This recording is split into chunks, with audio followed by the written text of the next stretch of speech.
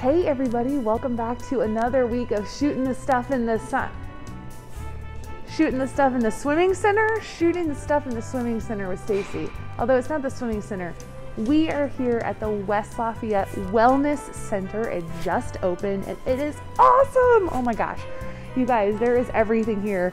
Rooms of community rooms that can be rented and used, sweet gymnasiums that can be used, there's a walking track indoors, so while you're wanting to get your exercise in, but it's freezing outside, you can come here and walk.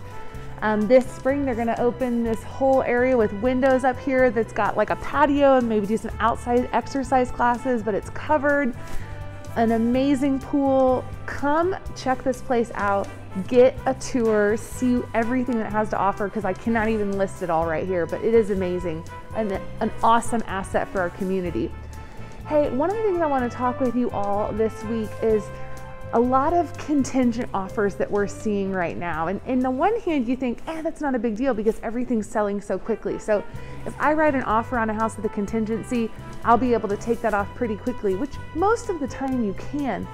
But when you've got a house that's contingent on another house selling, not only does it have to sell, but it has to also close. So we've got a lot of things that have to happen. And sometimes sellers don't like that. So think about getting a bridge loan. If you've never heard of a bridge loan, talk with your lender and see if that's an option for you.